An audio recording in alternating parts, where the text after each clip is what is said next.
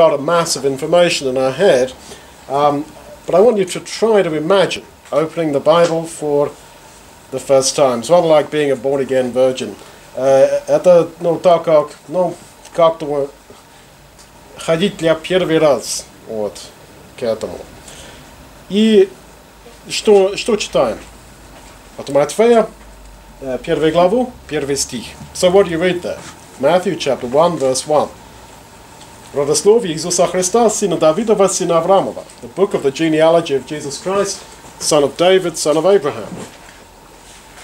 Итак, сперва, сперва ты встречаешь родословие. So first of all, you start reading a genealogy. И это как-то скучно. Зачем? Ну что, родословие, что ли? And it's a bit strange at first uh, blush that, what, this is a genealogy, list of names. Но это значит, что для Матфея, поскольку он проповедовал Евангелие, для него самое главное, чтобы Иисус был э, потомок Авраамова и потомок Давидова. But it just shows that when Matthew started preaching his gospel, of which the Gospel of Matthew is a transcript, uh, the main, the starting point was that Jesus is the descendant of David and Abraham. А почему так? But why is it like that? Ну, к Галатам, я хотел к Галатам, третью главу. So let's have a look at Galatians chapter 3. Verse 8. К Галатам, третья глава, восьмой стих. И Писание провидя, что Бог верою оправдает язычников, предвозвестило Аврааму, в тебе благословлятся все народы. The scripture foreseeing that God would justify the Gentiles by faith, preached the gospel in advance to Abraham, saying, In you shall all the nations be blessed. Итак, Евангелие не только начиналось во время Иисуса Христа. В самом Евангелии начиналось уже, уже в бытие, уже в самом начале Библии, в Ветхом Завете, во время Авраамова. And so the gospel didn't just begin with Jesus. It began right back in the book of Genesis in the Old Testament with the time of Abraham. То есть, поскольку мы сможем понять, что именно Бог обещал Аврааму, мы сможем тогда понять, что такое Евангелие. So, if we can understand what God promised to Abraham, you can understand what is the gospel. Итак, что именно Бог обещал Аврааму? And so what exactly did God promise to Abraham? Итак, вернемся в бытие. So we'll return to the book of Genesis. 17 глава, 8 стих. So, you get back to the book of Genesis, chapter 17, verse 8. И Бог сказал, and God said, «Дам тебе и потомкам твоим после тебя землю, по, по которой ты странствуешь, всю землю хананскую, во владение вечное, и буду им Богом». I will give to you and to your children after you the land of your wanderings, all the land of Canaan, for an everlasting possession, and I will be their God. Итак, понятие вечной жизни начиналось уже в Ветхом Завете. So the idea of everlasting life began in the Old Testament. Потому что Бог обещал дать Аврааму вечную жизнью, вечное наследствие, вечное ну, владение, скажем, этого земля. Тот буквально физически землю, где он жил. Because God promised to give uh, Abraham the eternal inheritance of that land of Israel in which he was then living. Бог ему сказал, ходи, трогай тот землю, види, ну, види, ну, смотри на этом землю. Это реально, это конкретно, это твое вечное. And so God had said to Abraham, walk around this land, touch it, feel it. This is your land forever. Но как это получилось? Потому что Авраам умер и не жил вечно, и не получил тот землю. So how then does this work out? Because Abraham died. He didn't live forever, and he didn't receive the land forever. А раз Бог обещал и не будет исполнять, but is it possible that God could promise and not fulfill? Нет, конечно, Бог будет исполнять то, что Он обещал ему. Of course, God is going to fulfill what he promised to David, uh, to Abraham. И это э, только возможно через того, что когда Иисус придет, когда Он вернется, у Авраама было бы воскресенье. Он еще раз будет становиться здесь на земле, и он получает тот землю, тот физический планет, как вечное владение. So this will be fulfilled when Jesus Christ returns to the earth and Abraham is literally resurrected and he will literally receive that land, this land, for an eternal inheritance. Это значит, что Бог не будет разрешать тот планет сам себе уничтожаться, сам себе разрушиться. Много людей сейчас страшно переживают о судьбе нашего планеты. И понятно, и правильно переживают. Но согласно Библии, тот земля вечна. Потому что Бог обещал дать нам тот землю как вечное владение. A lot of people get worried these days about the, the destiny of the planet. Is the world going to destroy itself? And you can understand why they would get so concerned, because of course it looks like we're going to destroy ourselves. But God has promised that the earth uh, is going to be our everlasting inheritance. And so therefore the planet will not be destroyed. Uh, дальше, что Бог дальше обещал Аврааму? And what else did God promise Abraham? Он обещал здесь, я буду им Богом. And he promises them, I will be their God. То есть у меня будет личное отношение с твоими потомками. He says, I will have a personal relationship with your children, with your offspring after you. И дальше. Бытие 22, Genesis uh, 22, 17, 18, 17 and 18. То я, благословляя, благословлю тебе и умножаю, умножу семя твоей, как звезды небесные, и как песок на берегу моря.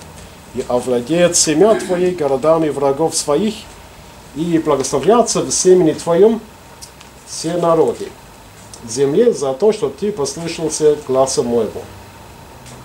I will surely bless you, and I will multiply your offspring, your seed, as the stars of heaven, and as the sea, as the sand on the seashore, and your offspring, your seed, will possess the gate of his enemies. То есть Бог обещал дать Аврааму и его потомок, в конце концов, победу. So he promises Abraham and his son, his descendant, uh, victory. И тоже благословение. And also blessing. Когда читаем Библию, все то, что мы читаем в Ветхом Завете, имеется свое толкование дальше в Библии, особо в Новом Завете. If you're studying the Bible, you'll find that so much of what you read in the Old Testament has its interpretation given to us in the New Testament. В Новом Завете этих стихов Петр цитировал и дал нам объяснение, дал нам толкование, интерпретации. So these very words that we've just read are quoted by Peter in the New Testament and are interpreted for us. Итак, Деяния апостолов, 3 главу. And so for that you look, look at Acts of the Apostles, chapter 3.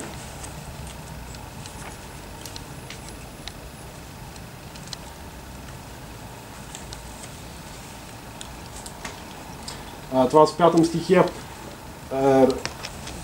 Бог, а, Петр цитировал этих слов, когда Бог обещал Аврааму, и в семени твоем благословятся все племени земли. Бог, воскресив Сына Своего Иисуса, то вам первым послал Его благословить вас, отвращая каждого от злых дел ваших. So he quotes the promise that was made by God to Abraham that in your seed, in your son, your offspring, will all the families of the earth be blessed. And God, having raised up his son Jesus, sent him to bless you in turning away every one of you from your sins. Итак, Петра понял, тот благословение не только как вечной жизни на земле, а благословение в том, что мы получаем от Него прощение, и не только прощение, отвращая каждого от злых дел ваших. Это является тут благословение. So then, the, the blessing that was, given, was promised to Abraham and his, his descendant was that, yes, they would live forever on the earth, they would be forgiven of their sins, and more than forgiveness, in turning away each of you from your sins. Почему? Я сказал, что это не только прощение, но, только, но тоже отвращая каждого от злых дел ваших. Why did I say that it's not just forgiveness, but also turning away each of you from your sins? Представляете, это не, не, не трудно, что как раз мы согрешили. So just imagine, and it's not difficult, that you sinned just now. Хорошо? Я согрешил, ты согрешила. Хорошо. Молимся Богу. So just imagine that you sinned, I sinned, and we pray to God. Господи, прости меня. Lord, forgive me. Я не спорю, что да, спасибо, я чувствую, что он мне простил.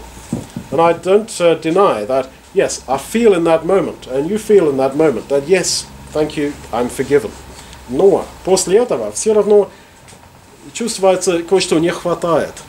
Не хватает.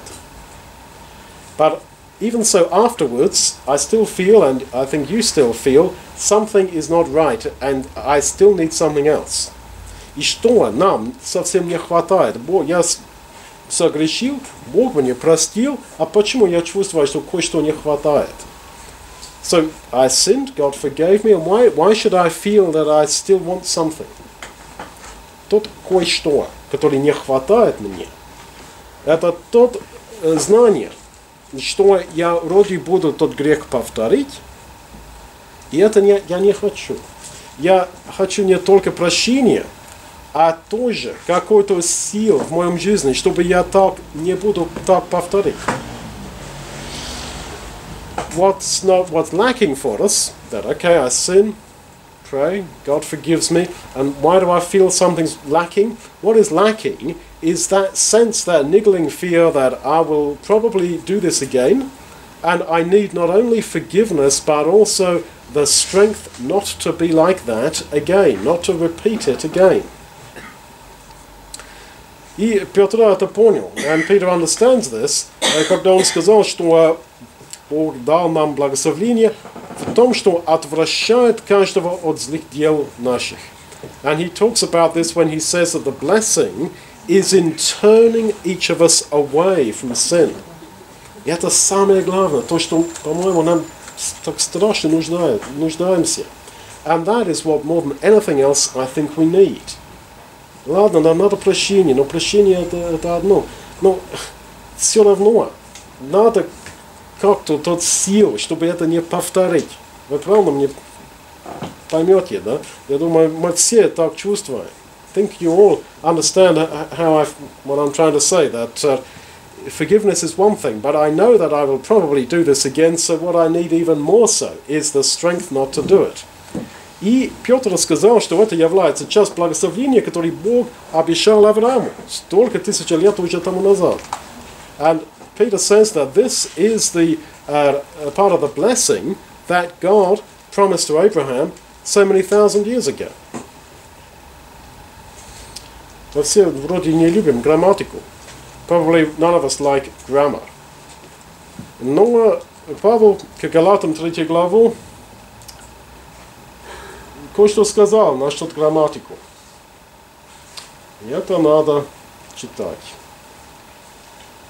But Peter, uh, Paul says something about grammar in Galatians that needs to be paid attention to.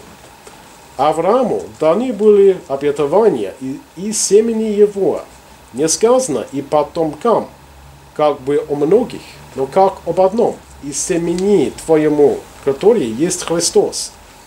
The promises were made to Abraham and, and to his offspring. He doesn't say, and to offsprings, referring to many, that is in the plural, but referring to one, in the singular, and to your offspring, who is Christ. То есть, Павел имел в виду, что когда написано в Бытие, что Бог сказал Аврааму, что ты и твой потомок, твой сын, так и так будет, благословление, э, вечные жизни, вечное владение, э, земля и так далее. Это все, в принципе, к Аврааму и один еще человек, потомок его, один. Не многим, а семени его, один. Не сказано потомкам, как бы у многих, но как об одном семени твоему. So then, he's saying that look, these promises about blessing and everlasting life and all the rest of it, um, eternal inheritance of the earth, these promises were made to Abraham as one man and to his singular descendant, who is Jesus, and that's it. Как тогда может быть, что тот один потомок, который есть Христос, становится многим? Столько, как ну, песок по берегу моря, столько, как ну, звезды на небесах. So how is it then that this one special son of Abraham, Jesus, becomes many, as many as the stars in the sky, as many as the grains of sand by the seashore? Как так может быть? И что здесь для нас? Если это все то, что Бог обещал Аврааму, и дальше к Иисусе, как его потомок, а причем я здесь? And if all this anyway is just promised to Abraham and to his descendant, who was Jesus, then what are we doing here? Ладно, читаем дальше. And so we read further. 27 стих, verse 27.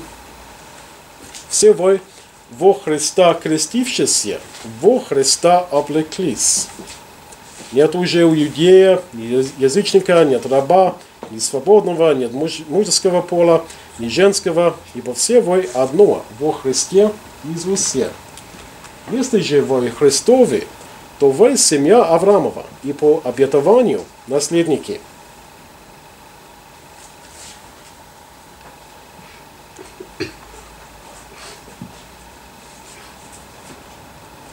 As many of you, and only as many of you, as have been baptized into Christ, have put on Christ, there is neither Jew nor Gentile, slave, free, male, female, because you're all one in Christ Jesus.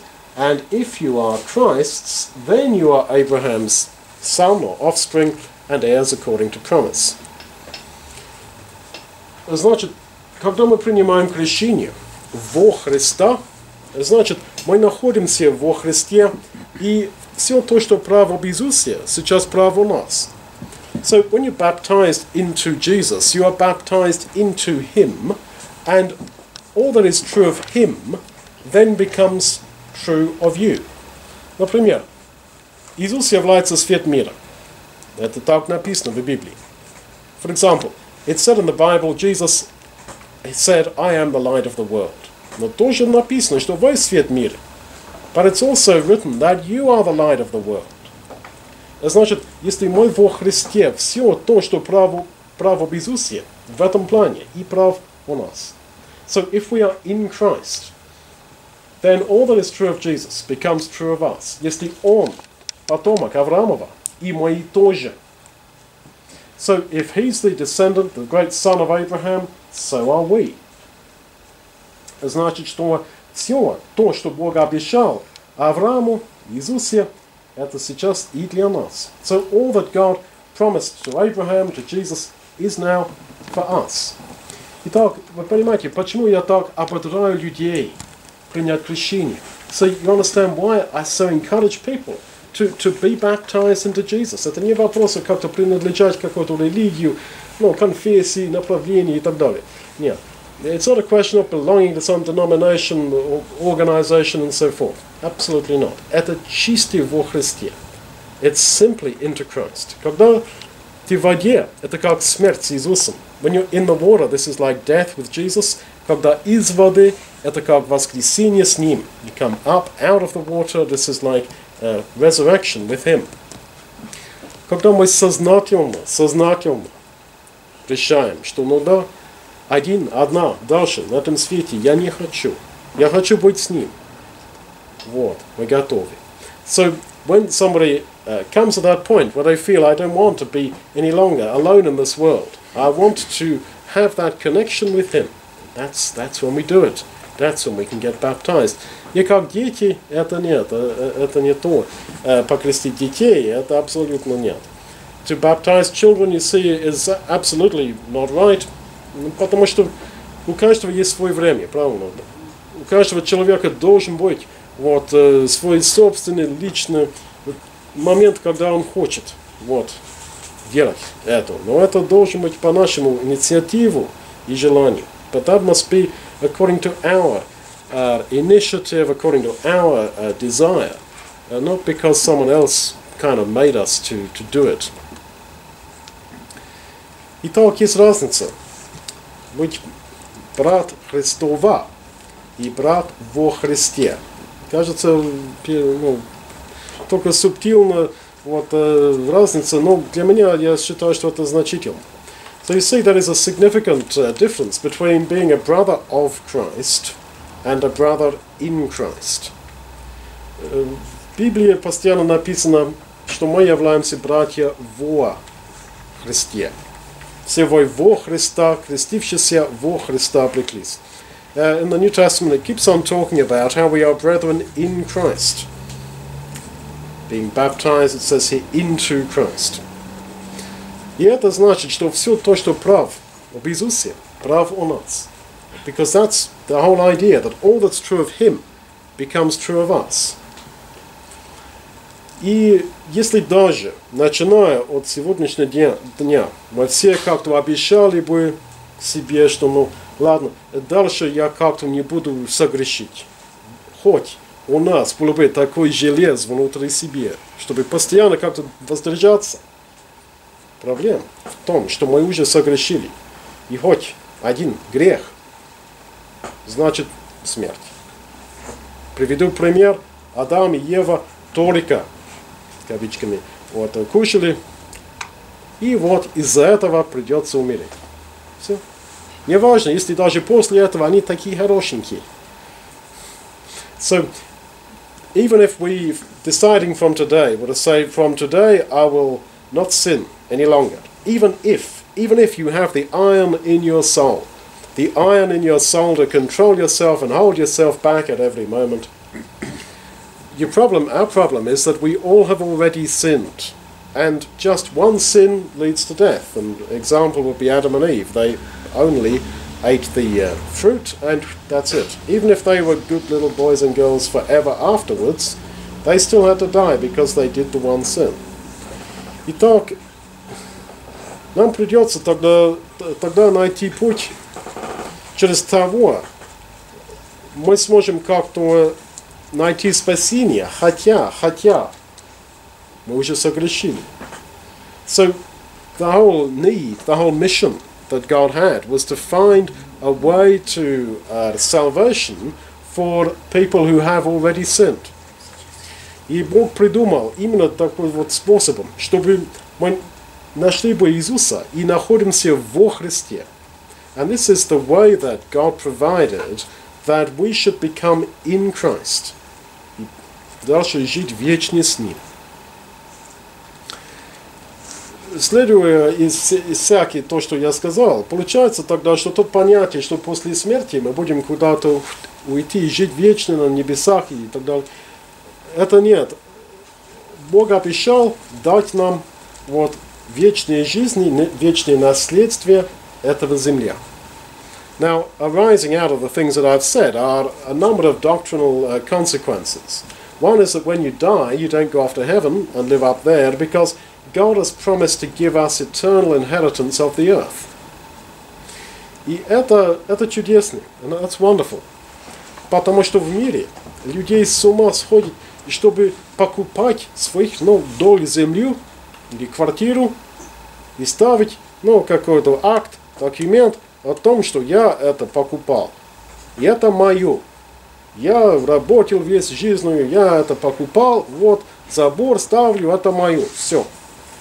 And people spend their whole lives to buy an apartment, to buy a piece of land, and to put a fence around your land and to say, this is mine. Да, это твой. Yes, it's yours. До того, что До, до смерти, спасибо.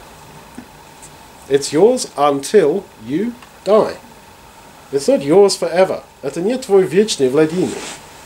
Это какая-то абсурдность. And it's some sort of absurd. Э, Что людей так, так, ну, вес нервов тратить, чтобы вот это покупать.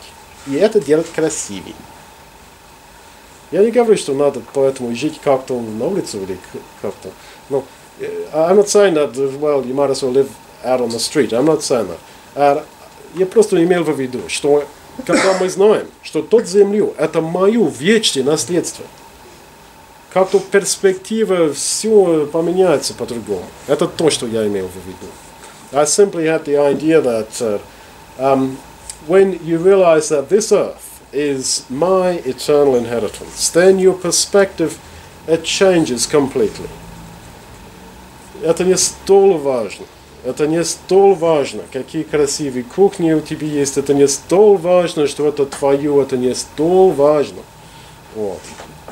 Что ты как-то пришел. Как, ну, это, ну, целый капитализм, чтобы вот я покупал какую-то недвижимость и платил банку, и это мою собственность.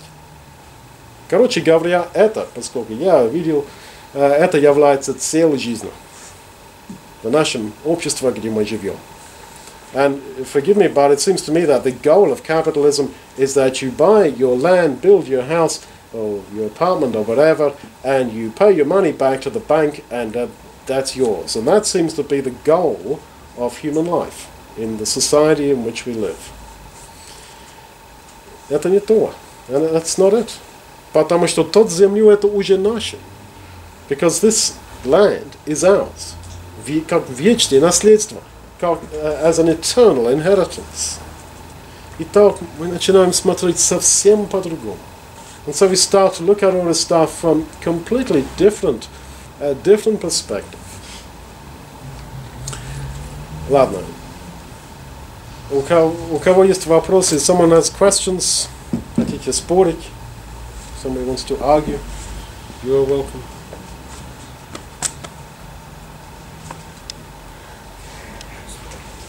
Комментарии? Andy, didn't you lose your house once? Didn't your house burn down? Yeah, pretty much. У брата Анди из Англии, я помню, у него был дом. И это с- зажигалось до конца. Он потерял дом. Абсолютно все. Столько лет это строил, и вот все. And how did you feel when you lost your house? Как, как ты почувствовал, когда ты потерял дом? Shocked. Я, конечно, в шоке. Yeah, pretty shocked. But it wasn't the end of the world. Но это не конца мира. No, but did, did you think about like spiritual things, a spiritual perspective on it? У тебя был Well, yeah, какой-то we have- I think you have духовный, духовный перспектива на этом? Yeah, well, I think ideally you have to think about all things with with a s- spiritual perspective. But I, I, I do think that, you know, you have to, um, in life, you have to have sort of goals Short term, medium term, and long term goals. And obviously, at that point, our goals to change. А в жизни у человека должен быть какой-то цель и какие-то ну, вот, намерения, и ну, самые ближайшие, и среднем, и дальнейшие э, намерениях и целях в жизни. Должен быть у человека, и, конечно, когда это случилось, как-то передумали, Изменились намерения. да, всякие Yeah, I- эти ценности. And I guess the short term goal at that point was to find somewhere to stay for the next night. Когда это случилось, конечно, первый цель это был, где я с женой будем переночевать, ну, тот ночи, когда это случилось, ну, где мы будем спать. And the medium term goal was to find somewhere for the next six months and indeed then look forward to moving back to the house when it was redone. И тогда посередине э, целях было, ну, перестроить дом или найти, где жить более, ну, дальше. But the long term goal remained the same, and that's the kingdom of God. Но моя дальнейшая цель была жить вечно в Царстве Божьем, и это укреплялся. Спасибо. Thank you. Ну, так же и у нас. Вот сейчас в Харькове обстановка такая тяжелая. Раньше думал, да, что-то нужно приобрести, все. А когда сталкиваешься сейчас вот с этими проблемами, ты уже понимаешь, что это не нужно. Это уже, да, вот именно начинаешь чувствовать ближе her то, что написано там, оно как-то ближе становится. Это так оно есть. Данка, Не копи здесь да. богатство на земле, копи на небе. Вот сейчас как-то открылось для меня по-новому, возвращаясь к этому стиху «Бытие». Э, Ну, это Моисей писал. «И дам тебе и потомкам твоим землю, после тебя землю, по которой ты странствуешь, всю землю ханаанскую, э, во владение вечное, и буду им Богом». Значит, имел This is, сейчас, это, это 17.8, да? Да. Chapter 17 of Genesis, verse 8. Uh, I will give you the land in which you are a stranger, a wanderer, for an everlasting possession. Что он имел, то есть ну, имел в виду? Вот тут, ну я всегда тоже думала, что ханаанскую землю то.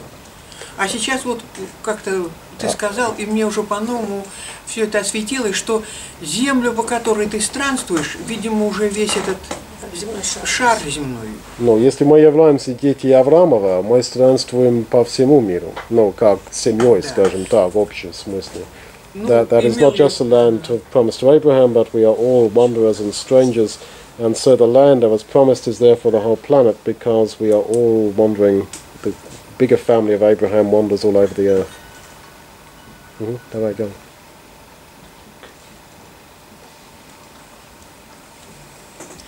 Когда Моисей писал, конечно, он э, имел в виду только евреев, потомков Авраама, видимо так, да?